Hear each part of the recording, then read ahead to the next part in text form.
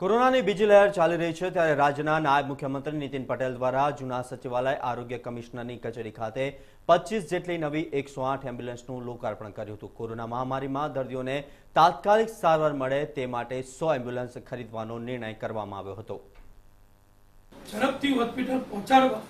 જ્યારે એમને કોઈ હડવા તૈયાર નહોતું હડવું યોગ્ય પણ નહોતું, સલાહ પણ આપવામાં આવતી હતી કે દર્દીઓથી શક્ય તેટલું અંતર જાળવવું એવા સમયે જ્યારે પરિવારજનો પણ દર્દી સાથે ગાડીમાં કે એમ્બ્યુલન્સમાં જવા તૈયાર નહોતા, એવા સમય, વિપરીત સમયમાં પણ એકસો આઠની એમ્બ્યુલન્સ દ્વારા લગભગ બે લાખ પંદર હજાર કરતાં વધુ દર્દીઓને જેમને કોરોના થયેલો હતો, કોવિડ થયેલો હતો, એવા બે લાખ પંદર હજાર કરતાં વધુ દર્દીઓને એકસો આઠ દ્વારા હોસ્પિટલમાં પહોંચાય એવા હજારો કિસ્સા અત્યાર સુધી ગુજરાતમાં નોંધાઈ ચૂક્યા છે.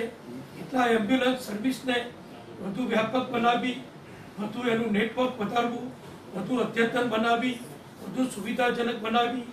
એ કામ આરોગ્ય વિભાગ જ્યારે કરી રહ્યું છે, ત્યારે નવી પચીસ એમ્બ્યુલન્સનું લોકાર્પણ મેં અને અમારા સાથી મંત્રી શ્રી કુમારભાઈ, અમારા અગ્ર સચિવ ડૉક્ટર જયંતિ રવિ અને કમિશનર શ્રી શ્રી પ્રકાશ દ્વારા અત્રે કરવામાં આવ્યું છે.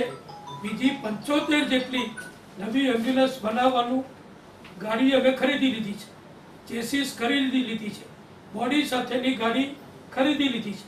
હવે એની અંદર નવા સાધનો ઇક્વિપમેન્ટ મૂકવાનું કામ પણ શરૂ કરી દીધું છે.